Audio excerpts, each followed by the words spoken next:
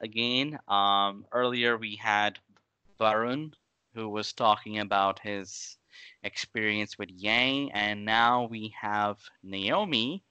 She is from uh, from the state of Florida. Um, so I'll just um, I'll have her give her introduction as to um, where she's from, what she's doing, how she found out about Yang. So, Naomi, over to you. If you can just give a quick intro about yourself. Hi, how you doing? Um, like Ryan said, my name is Naomi, and I'm from the state of Florida, originally from Connecticut. And I came across Andrew Yang um, from an article that was posted on Facebook um, on a friend of mine's that I saw on my timeline or newsfeed, actually. So it was um, mostly centered around his universal basic income and uh, had kind of like an introduction of who he is and why he believes that we need a UBI. Mm-hmm. So um, I read the article and a lot of things started making sense. And this is going to sound cliche, but everybody notices the automation going around, going on in the stores on a retail level and um, you know on a even at the manufacturing plants so if you think mm-hmm. about a lot of people like how many people got laid off from manufacturing it all clicked. So i read into him more and i try to search up ubi and search out um, his policies and everything like that fact checking googling and everything absolutely made sense. So um, you know that's something that really interested me. And then after a while i mean i think this was like two years ago. So then okay. of course about maybe nine months ago is when uh, the campaigns and everything you saw the videos on youtube and then i heard about nerd for yangs and mm-hmm. um, nerds for yang and i you know went from there and fell down the youtube rabbit hole and just watched videos nonstop so you mm-hmm. know that's how i came to uh, yang gang wow great great so so do you think that Andrew Yang is your I mean is is he just like an above average candidate or is he kind of unique and like you're not sure you we we might see him again? Well, the thing about Yang and I'm sure that a lot of people would agree is that he is very unique and uh, I, I read the comment sections a lot in YouTube and on social media in general, and um, everybody kind of like there's there's mixed reviews about him. Like a lot of people, and you know they they think his ideas are bold. Some people think mm-hmm. his ideas are brand new. A lot of people are like, yeah, he's gonna take us, you know, to the next level. So, um, you know, he he basically he he attracts and has a lot of appeal on all sides you know, mm-hmm. whether Republican, Democrat, um, undecided, you know, whether, whether you're any political party, you know, even libertarian, you know, mm-hmm. uh, he he attracts all those type of people, and um, you know, it, it's a pretty crazy mixture, but you know that just shows you his appeal. So a lot of people, some people even say he's like a once in a lifetime candidate, and I believe that. So you know, that's yeah. a big reason why I him.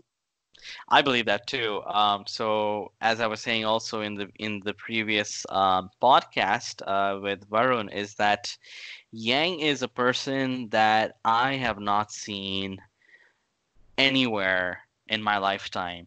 Um, I mean, let's just forget about American politics right now. It's just let's just focus on world politics for a moment. And I haven't seen a guy the way that he talks about policies and ideas. Oh, and, know, like he says all the time, he's not a politician or he's barely a politician. Barely so. a politician. Yes. I mean, that's like literally one of his quotes. I'm barely a politician. It's I'm it's barely true, a though. politician. That's he's just wearing that is, the suit right now.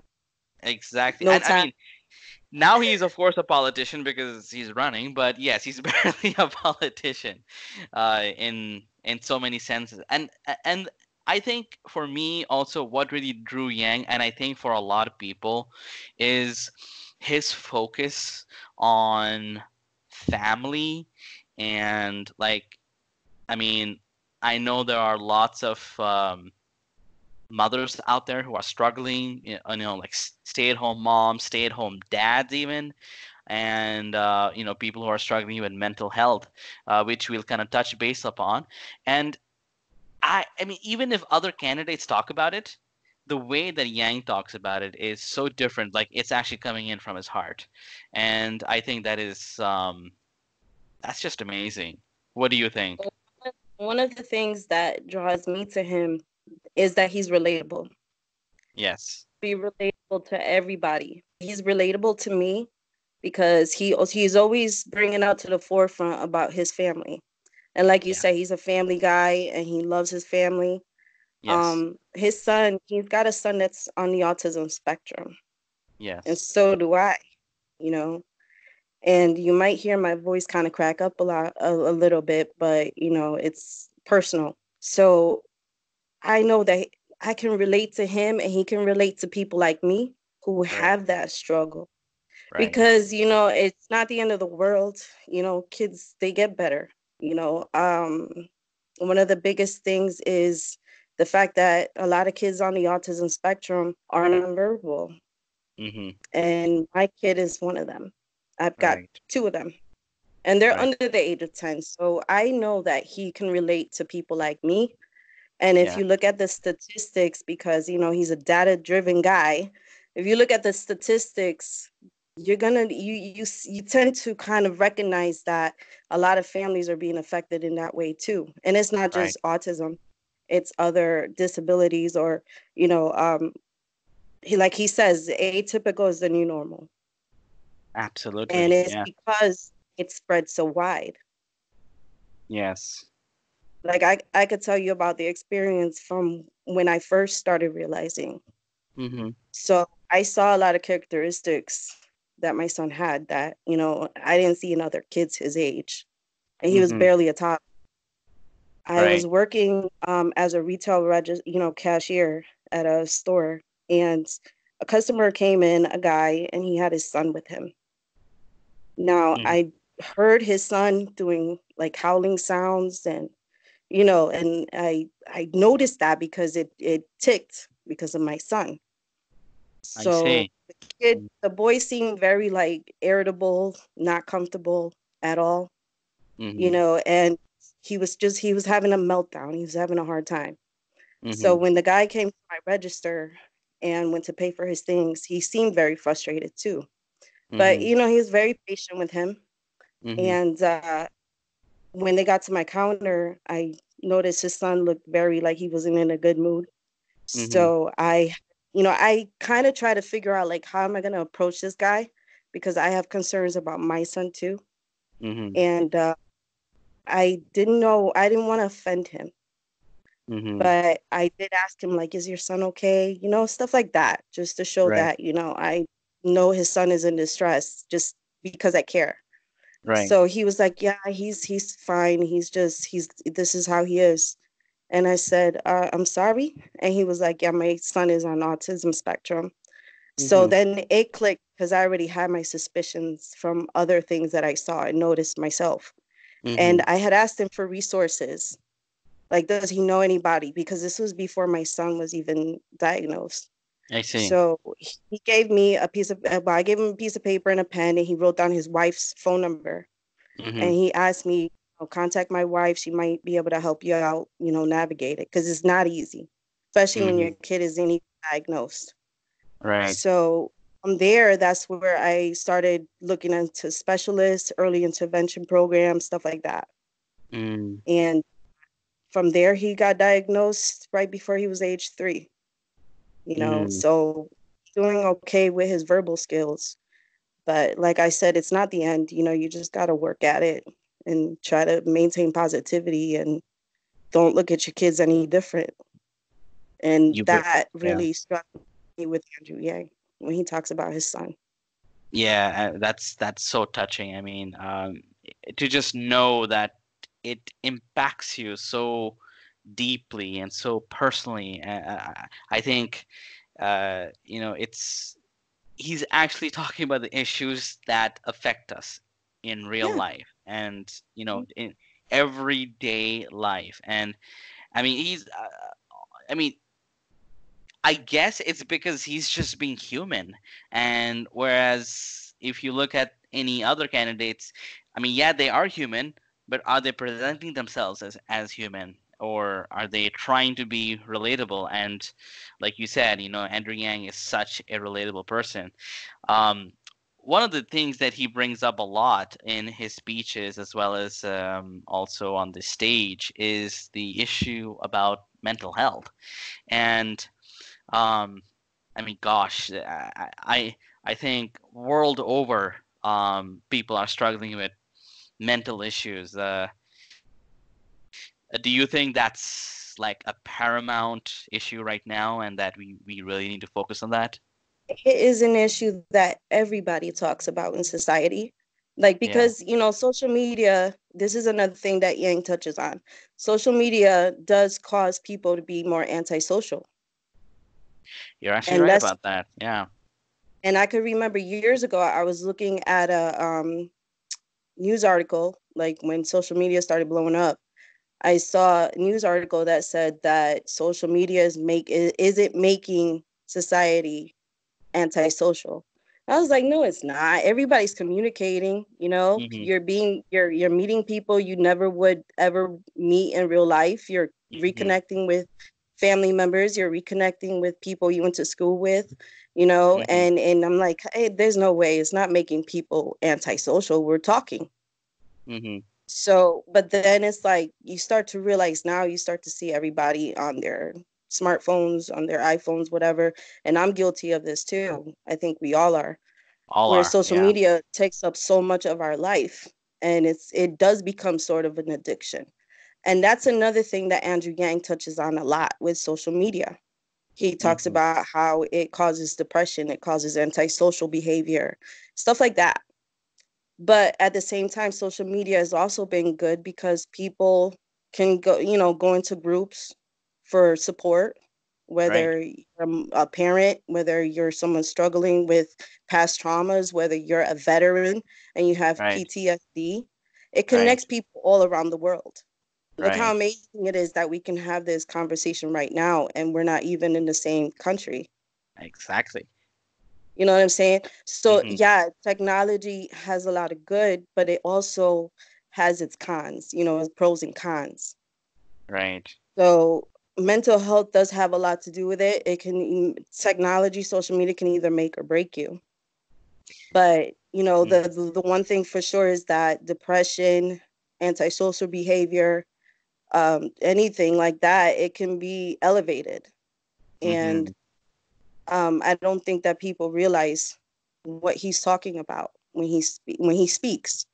So mm. yeah, um, mental health is definitely an issue. It's a real mm. big problem. Now it's it seems that it's a bigger problem now than it's ever been, but that's only because of technology and how everybody everything connects. Yeah. So um it's like what do you do? Everybody talks about it. Somebody commits a shooting and everybody's like, "Oh, you know, he was mentally ill on mm-hmm. drugs mm-hmm. or whatever." Mm-hmm. You know, and nobody else like look at the gun situation like right. gun safety laws and all that. That's a really hot button topic with politics. Mm, yes. Every like you got some candidates that are like, we're gonna take your guns, we're gonna confiscate them, it's gonna be a mandatory buyback, whatever they say. And mm-hmm. people mm-hmm. are alarmed by that, especially people on the right. They mm. don't like that. They don't want yeah. people coming and taking their guns. Right. So yes, sometimes on the topic, Andrew Yang has to kind of try to appeal, try to you know appeal to everybody both sides so there is no right answer with that. But if you look at what he's talking about connecting mental health to the way people you know do self-destructive behavior. Yeah. You know and then they do things they can't take back. You can't take back suicide. Exactly. Yeah. take back murder. Right. Okay? Sometimes it doesn't end in death and some mm-hmm. people get hurt and it affects them in their life you know like somebody yeah. could get the snot beat out of them and end up up like bedridden for the rest of their life paralyzed yeah. whatever very true yes Some people go through issues at work people mm-hmm. that do hard labor they mm-hmm. put their bodies through so much stress mm-hmm.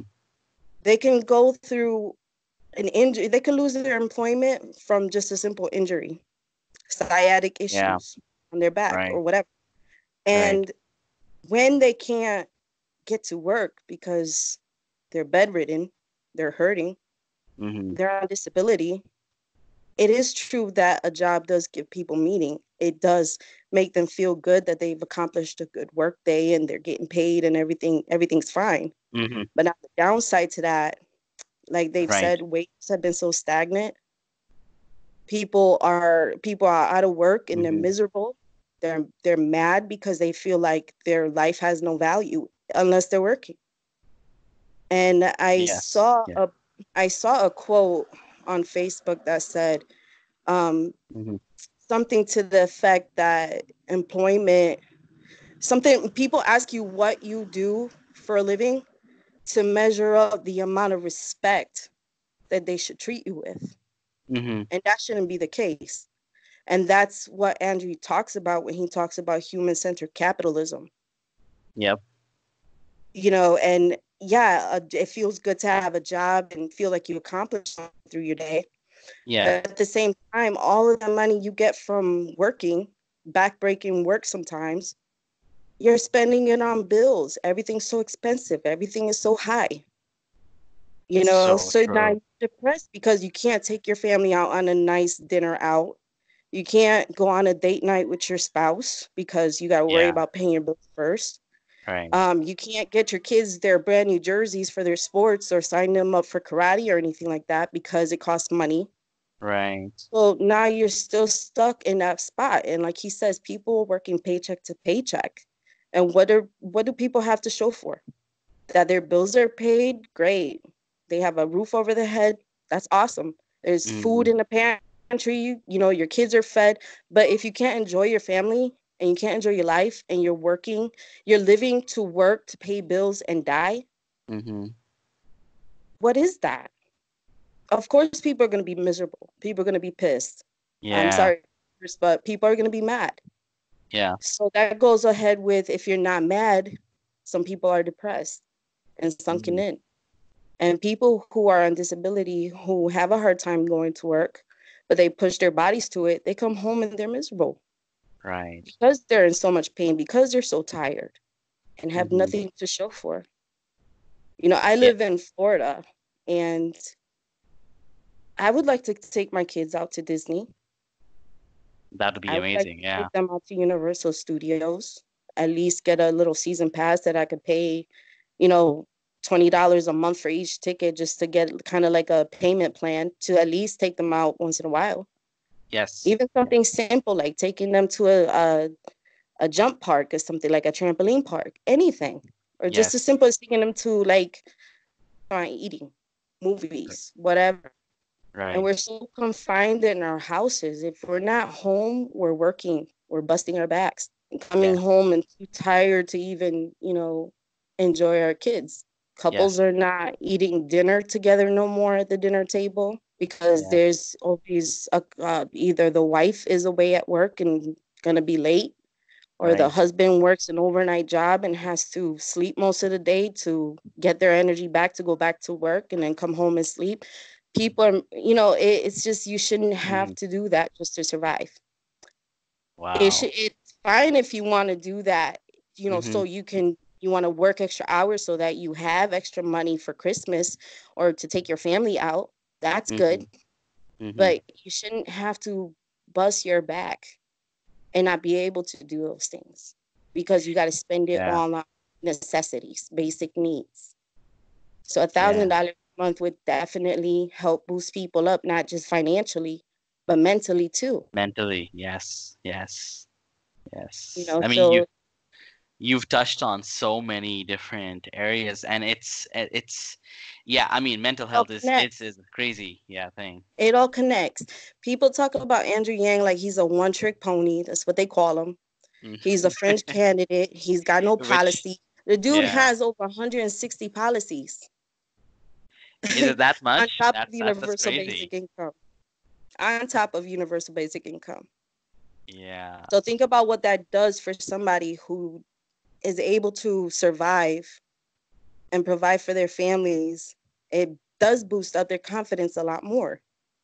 And the other thing that I think about Yeah. is when I mentioned PTSD, as far as like the veterans, hmm um, why are there veterans in homeless shelters? That shouldn't be. Yeah. Why?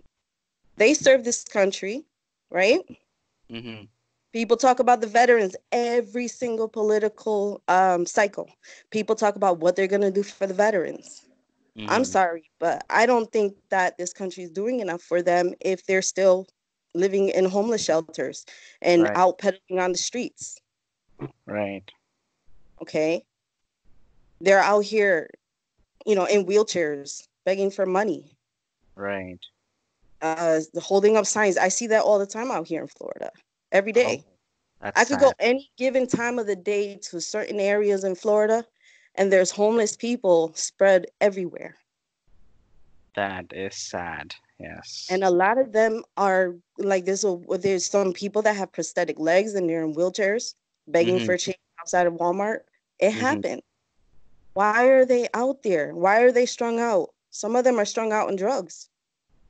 Why are Yeah. they strung out? It's because they're going through the mental um, things that they had to see while they were away at war. hmm You know, eh, stuff happens. A spouse dies, a loved one dies, something happens, and and your whole world falls apart, and you feel like you have no support. Yes.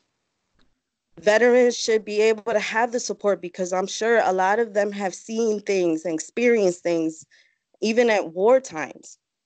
They've Yes. seen and experienced things that is traumatic to them. It burns in their head. I know someone personally who on like Fourth of July and stuff, he can't go out and watch the fireworks because he goes into like, you know, it's like a trigger, and he freaks Oh, out Yes. Makes sense. because sense. of the fireworks and it's loud bomb sounds. Right. Okay, Wow. people have these issues, Yeah. and it's and, they did this as a sacrifice. They sacrificed their their chance to have their families every day like we do. They sacrifice um, having dinner with their kids. Some of them sacrifice being able to see their kid be born. Exactly. That's that's just crazy. They should not be living in homeless shelters, strung out on drugs, Yep. or Yep. you know, homeless for whatever reason. Nobody should be. Mm-hmm. Right. So Wow. that plays a lot with mental health, and like how I mentioned with the gun thing, with the gun Mhm. situation, Andrew Yang wants to put people mentally in a better place so that they don't feel like they have to go and shoot up a Walmart because they're mad at society. Yes. Yes. Absolutely. Okay. They don't have to uh, go to events. People shouldn't have to be afraid to go to events. People shouldn't Right. be have, have to be afraid to go to a movie theater and worry about if somebody's going to be in that dark big play a big place and, Yes. and shoot up the theater. Like I think Absolutely. the guy was James Holmes a few years Yes. ago. Yes. Yes. I remember that. Yes. okay you got to get to the root of the issue and if these politicians are not going to take it seriously there's going to be a lot more blood out there to shed and it's going to happen whether or not you ban guns people could buy ban and people could buy guns on the black market right now any any second of the day if they had access Yep. That's true. Yep. Okay you got all these laws right hmm and most of the ones that are out there causing you know causing death and shooting people got Mhm. their guns like on the low they didn't go through the legal process Exactly. okay so gun laws only keep honest people from going out and doing those things or not complying with the laws it does not stop people who are already criminals or people who are thinking about suicide or people who are thinking about shooting up a public place it doesn't stop them because if they're going to get their hands on a gun they're going to do it anyway So true. Yeah. So, so true. andrew yang wants to get to the bottom of what's causing people to do this what's your problem is it Mhm. because you're not working is it because you're not you, you lost your house Are mm-hmm. you upset because you think the immigrants are taking your jobs? So you're going to go to El Paso, Texas and shoot up a Walmart full of uh, a Walmart where you know there's going to be Hispanics at? Right. You know, why should yeah. anybody feel the need to have to take it there? Exactly. That's what you have to get down to the problem. Wow. You know, and Yang wants to get to the root of that. He's not out there saying he's going to take your guns or he's going to ban all your guns. He's mm-hmm. not saying he's going to have the police up in your house and confiscate your guns. Mm-hmm. Saying, let's try to, you know, make some people feel comfortable. Mm-hmm. You know, the ones who feel like there should be stronger regulations. Let those mm-hmm. people have something to feel comfortable about.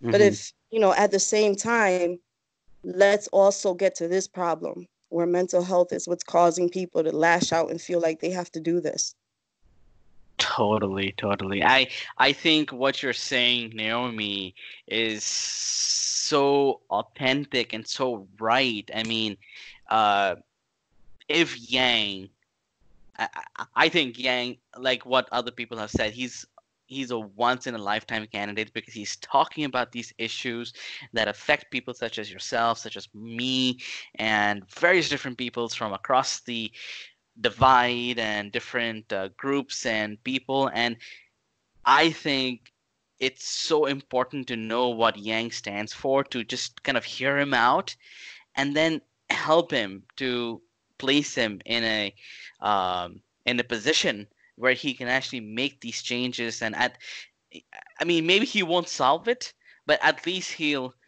put us in the right direction and you want to know the problem is yeah. that everybody wants to be a critic right? Yes.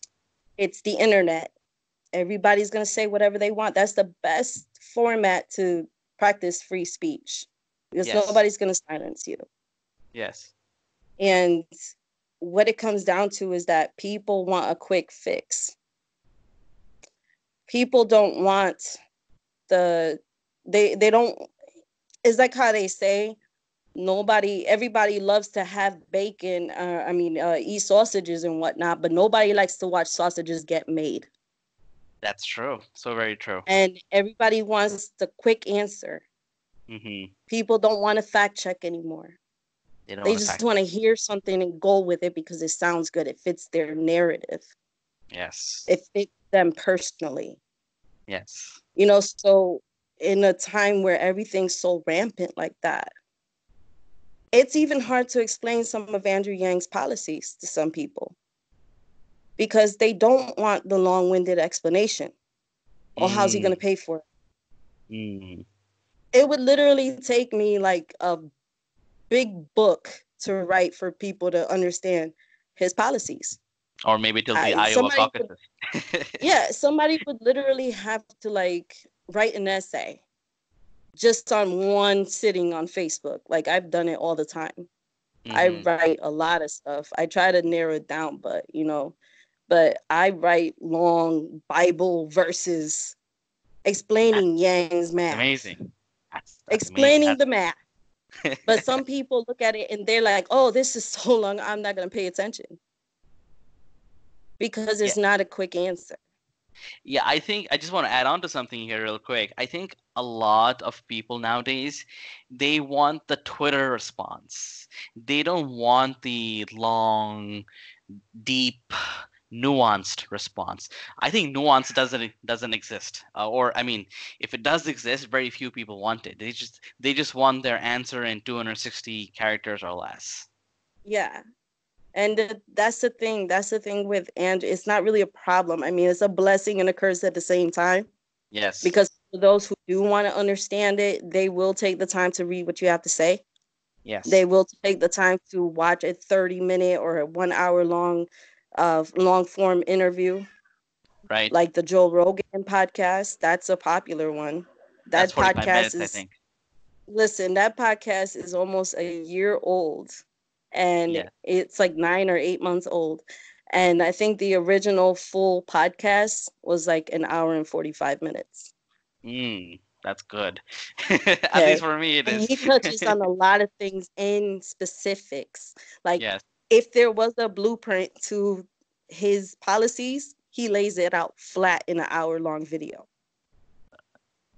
and he actually excels in those hour long videos because he he gets to talk about it in depth and all about the different ideas possibilities nuance and all those things he brings up the numbers he brings up the numbers he brings up the data stuff you can actually fact check and google yeah. okay he brings in the, the the resource as to where he got his idea and why he's fighting for it exactly. um the other thing that I can appreciate about him is that he doesn't give those short, generic answers.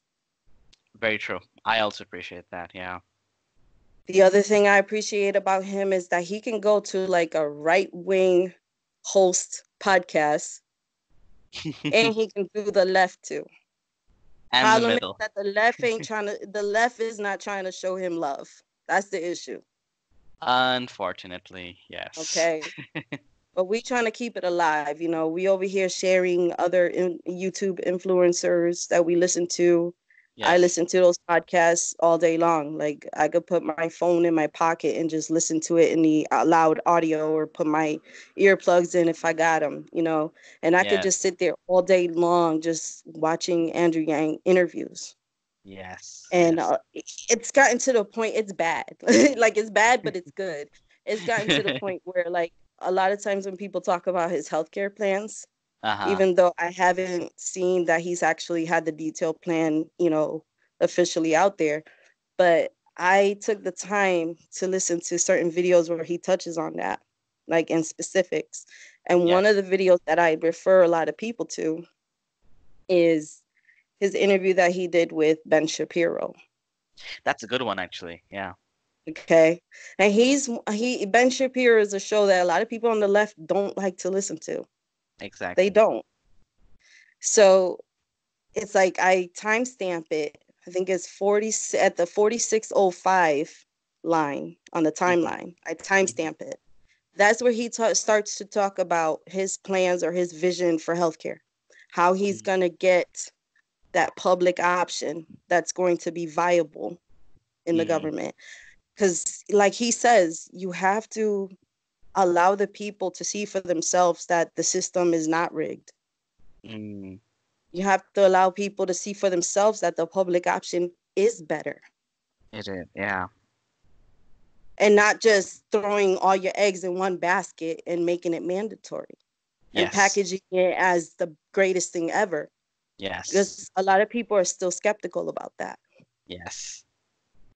So that's going to be something that's going to be hard to pass when you're trying to get rid of the private uh, sector of the healthcare. True, true. He talks about regulating, deregulating, you know, figuring out what laws make sense and what regulations don't make sense. Yes. You know, it's like, yeah, you want to have a wealth tax. Well, you know, what happens when all the billionaires decide that they want to jump ship and renounce their citizenship? Yep, and also the economy will be hit because if they go, well, then the company, yeah, yeah and on an economic level, I guess the companies would have a choice to also close up shop, lay off workers, and leave. Yes. Yes. And be, you know, and the thing about the VAT, that um, the VAT that uh that Yang is proposing, mm-hmm. you know, a, a, corporation can pack up shop and leave.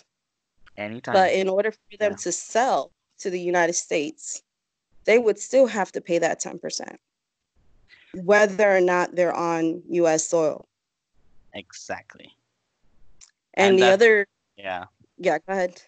no, I was just I, I was I was I was just gonna say that um many people are viewing the VAT as you know something that will cause so many things to go up but what they're not realizing is that the money how yang plans to utilize that vat to essentially recirculate it so that he's not actually taking out more loans. He's just i guess rearranging it so that the money comes to the people. So well you know the thing the thing about the vat is there's countries like Europe. Just mm-hmm. I'm gonna throw out Europe. Their VAT percentage is at about twenty percent. Right. that's i mean what he's proposing here would be only 10% that's half so i mean do, as a corporation or as a wealthy person if you move to um, to europe it's going to cost 20% more i mean it's going to cost 10% more huge yes so would you rather sell to the united states at a 10% vat or do you want to go to europe pay a 20% vat and then also pay the united states a 10% vat Yep. It's just it's it's just common That's sense. thirty percent right there that that corp that that corporation is going to be paying, if I'm correct. Yes. You know, still learning. Yeah. But if they stay in the United States and they pay a ten percent VAT, that's all they're paying. Mhm. So, what do you think makes more sense as a CEO of a billion dollar corporation that is already automating jobs and laying people off, anyways? Mhm. Yeah. It just. Don't you think that with less human labor, less payroll, Mhm. uh, they don't have to give employees mandatory vacation time or benefits, Mhm. right? Mhm. Um, it would make the production probably cheaper Yes, it would. Yeah. because you're cutting out all of that, all of that, uh, all all the funds that you're doing now with employing humans. Mhm. If you have, like Andrew would say, wall to wall robots and assembly line bots doing most of the production, the packaging, the scanning, the picking, all of that stuff, you're cutting out the the the the amount that is going to you know cost you as a corporation to pay each worker and that's Mhm. why a lot of these corporations as far as i see it are already pushing towards automation Mm. you know so Yes. this corporation is going to now make these products and it's going to be cheaper on the corporation to make these pro- um, products just Mm. like with the you know when they talk about trucking and self-driving trucks they're no longer going at one at some point and maybe not like in two years but at some point it's going to be less hand holding throughout the way and Oh, more yeah. people get off Oh yes. and and like andrew uses i think truckers get paid per mileage if i'm right they get paid per mileage these Yes. corporations with less hand holding down the line that's gonna that's probably in my head that's going to uh resort to that's going to be a result of the mileage being reduced right. as far as pay so now they're going to be getting paid less as there's less hand holding being needed down the line and Mm. that's just my view of that how that would go Mm. he also touches base on the fact that when those truckers when some of them are going cross country and they're spending sometimes 16 hours out on the on the road which is crazy, um, but yeah. they need to go somewhere and have have a meal right Yes. um, i guess there's no idling laws so some truckers are probably going to resort to having a motel or something so they don't Mhm. have to sleep in their truck those motels are not going to get that business anymore those diners are not going to get that business anymore Yes. um, those truck stops where the truckers get out and get their coffee or whatever they're going to be lacking that business too Mm-hmm.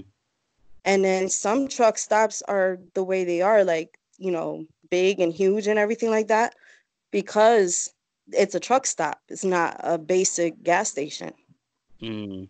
Those workers are probably going to end up out of work too Wow. because they won't be needing a human to get out of a truck at some point eventually to get you know their energy drinks or get their coffee or their donuts whatever they got to do Mm. Yes.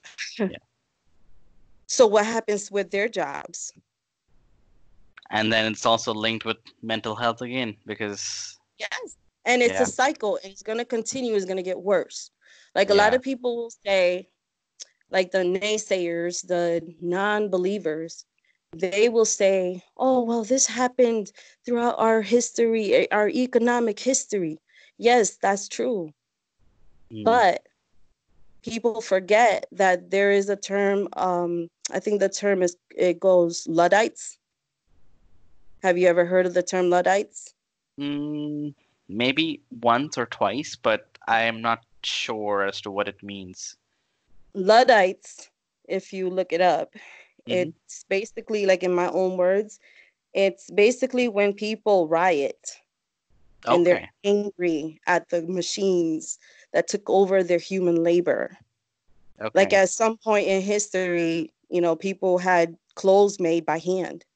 Mm-hmm and further down and further up the line it went to sewing machines and then before that it was a much less much more labor induced uh, mechanism. But you know like i said it goes from handmade stitching uh, some type of you know thing technology that they invented i forgot what it's called but then it eventually evolved into sewing machines. But at least those people had the equipment to you know, sew a dress together.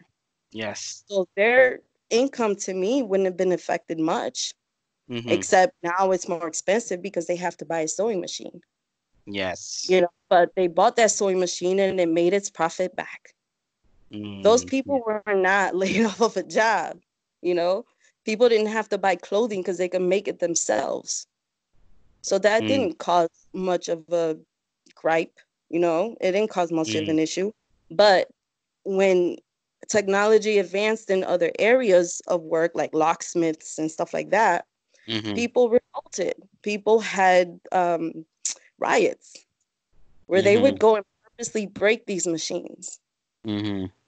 Just to be like, I won because I, I shut it down. Mm. And they say, and some people that are critics will say, oh, the, the wheel is always reinvented. Yes, but we still had our hands in on inventing that wheel, correct? Correct. What happens when the wheel invents itself? That's some next stage, a, Terminator style. When... Go get a muffin. Go ahead. Um, so I mean, what happens when the wheel invents reinvents itself? Because at yeah. this point, look at how cars are manufactured. Yes. Big, heavy cars, trucks, all of that. Automation. it used to take a crew of maybe at least 10 men to, you know, 10 people to put a car together. Mm-hmm. And it mm-hmm. used to take more time to do it. Mm-hmm. Now you have big, giant robot arms and machines. And it's like maybe four or five of them in a row, and they're all welding pieces, putting pieces together, all of that. Mm. And if you see videos like this, you you don't see you barely see any humans inside of those factories. Mm. Okay. Mm. So when you have robots or, or assembly line bots putting a car together that's eventually going to go out there and be dri- driv- driven by someone, mm. you got to think about when it's going to come to a time when robots start fixing other robots. that that'll be insane. Think about that. Yes. There's already and I saw videos. I don't know how far people have taken it into the research because I've researched it top to bottom. Okay. Um I've seen factories in China where there is maybe like one or two handfuls of people inside of the factory. Mm-hmm. And they're only there as a failsafe. They're only there in case a, a bot breaks down. You have a mm. maintenance crew that comes in to, you know, di- dissect the issue and fix it. Mm. Okay. Button pushers. But you don't see one or 2,000 people working. Mm.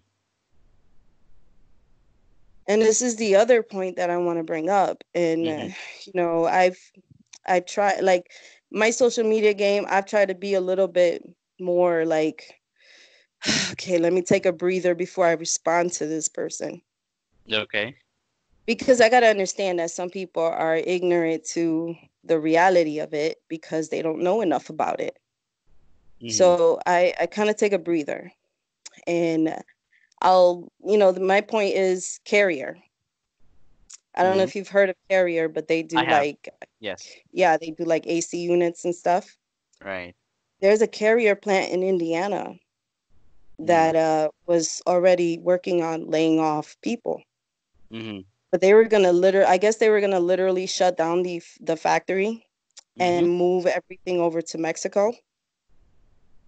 I think Okay. Donald Trump heard or knew what was going on, and he decides that he wants to go and negotiate.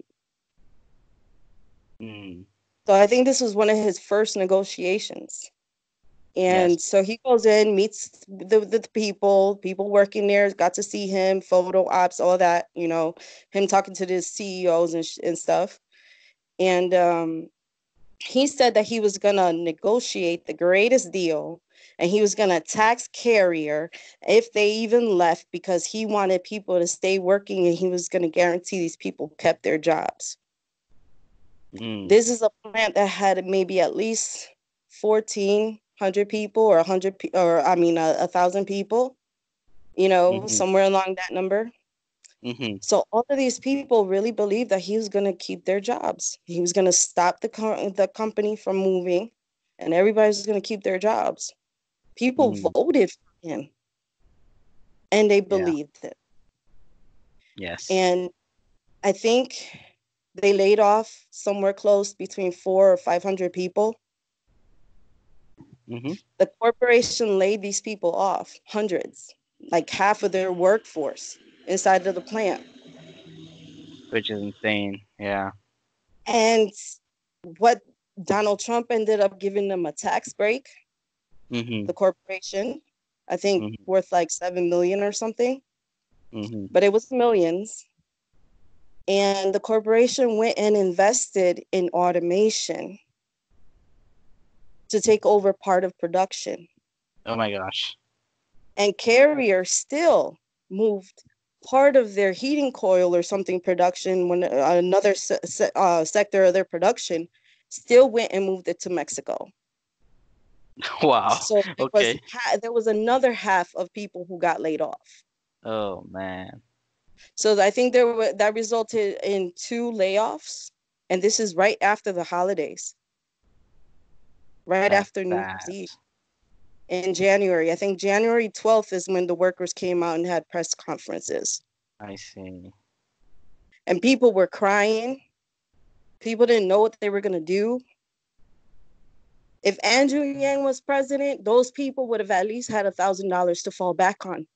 Yes. So true. And I'm sure Andrew Yang would not have given Carrier the seven million dollar uh, tax break and still allowed them to move production to Mexico. I don't think that would have happened, Yes. especially not with a value added tax attached to it, because Mexico's value added tax is sixteen percent. You are an intelligent person. I'll give you that. Think about it though. yeah. Think about how relevant that is right now. It is. It is. Yes. and how important it is to vote for Andrew Yang and get him into the prime, you know, get him past the primary and have him be the one that debates Donald Trump in the general. and he's gonna win it. I am sorry, but I'm making my I'm making my argument for Andrew Yang when I say this. Yes. How ironic is it that as soon as Trump became president, first thing he does is flop his first deal Yep. and still allow people to lose their jobs. So if I I- think we'll we'll we'll probably come to a close, but if if there was one thing, Naomi, that you had to say to someone who is not sure if they want to choose Yang, what is that one thing you would tell them? To at least give him a chance Mm-hmm. Um, I think some of the people who haven't heard of him, who are probably Trump supporters, especially the people who might have lost their their jobs due to that deal at carriers, or might have ended up in financial distress because of the trade wars. Mm-hmm. I think what they should do is look into Andrew Yang, reach out to other people in Yang Gang, and ask them, "Hey, Yang Gang, what's going on? Tell me about your guy." Mm-hmm. I think they need to maybe watch a couple of his podcasts, especially the long form ones. I mean, Mhm. even if they just put their earbuds on and you know continue doing whatever there it is they're doing, at, just listen to Andrew Yang. Listen to what he has to say because he's connecting the dots that a lot of other people are not connecting. The one thing is that he doesn't alienate anybody. You know, when right. Hillary Clinton won, she I mean when she was running, she called Trump supporters deplorables. Yes. A basket of deplorables. How do you as a politician expect those voters to look at you and say, "Yeah, she's got my vote"? Are you crazy? yes, so true. And Yang doesn't do that. He tries to understand these people. I mean, mm-hmm. hell, even if he, he's got people that on the alt right who support him. Yeah. And it's not because they support him because he's an alt right candidate. He's not on the right. He's not a Republican. Mm-hmm. But he appeals to their struggle. Mm-hmm. And their struggle is no different than mine. It's not no different than anybody else's. We're all mm-hmm. struggling. Mm-hmm. We're all hurting. Exactly. And, you know, he says a lot of times Donald Trump is not, what is it that he says? He says Donald Trump is not the, the problem. He's yeah, a he's the of the problem. Yes. Okay. The, uh, Donald Trump brought up a lot of things that people felt. Like his mm-hmm. voters, they felt that everything mm-hmm. he would say. Oh, the immigrants are taking your jobs. Oh, this is happening because of this. And and they ate it up because he was speaking to their concerns. He made these people yeah. feel like he cared about their woes. You yeah. know. And yeah, he diagnosed he he diagnosed a lot of the problems. He pointed out a lot of the issues, but he misdiagnosed it and he mm. misled people to believe that this is why they're losing their jobs when in reality they're losing their jobs because of automation, automation. and andrew yes donald trump pointed out the problems but andrew has the solutions and people need to at least give him a fair chance and at least listen to what he's got to say and if you don't so like it true. don't for him yes if you don't like him don't vote for him mm-hmm. vote for trump that's fine mm-hmm but at least give him a chance because he's not like the other politicians that leave a nasty taste in people's mouths. He's not that guy. So true. Okay. So true. So, so I think um, people yeah, sorry about that. Go ahead. Okay. No, I was just No, I mean I mean, wow, Naomi, you are such a passionate person and, and I I think for anyone listening would be able to just understand the passion and the and how personal it is for you that you know you just um, want Yang to just get in there and win it. And I think after hearing this, I think some people will definitely look into Yang and see why he has made such a lasting impact in your own personal life. So, just want to say thank you very much for. Let me just say one more thing, yeah. though. Sure, sure. There are some people who live in certain states who don't mm-hmm. have to change parties or register under a certain party. And I believe that that would be called open primary states. Like I think I believe Texas is one of them. And South Carolina, I think, as well. But yes. Okay. Well, South Carolina is big too. We can get into that like tomorrow if you want to. But right. Um, I've got something special for that. Anyway, um, if you're a Republican and you live in any of those open primary states, you can vote for Andrew Yang in the primary without switching party party affiliation. And in the general, you could keep your Republican status, and in the general, vote for Donald Trump if that's what you want to do. Mm-hmm. But please get that man into office if you really think he's he's he's uh, he's a game. Yes. Vote him into the Democratic primary so he yes. can push through, debate Trump, and then we could see two, uh, you know, business guy types go after each other if you're sick of politicians. And so I if think you live both... in one of those states, consider voting for Andrew Yang in a primary and get him in there against Trump, and we'll see yeah. who's the best and win. I think both you and I have an idea as to who might win.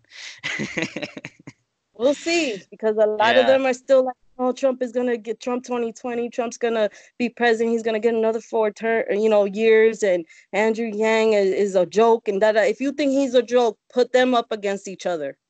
Yes. Yes. Okay. So because either way, you win.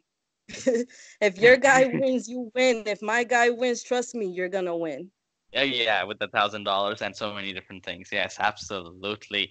Naomi, thank you very much for being on here with me, and we will definitely have you again because I think you are a voice that needs to be heard as to what this means for you.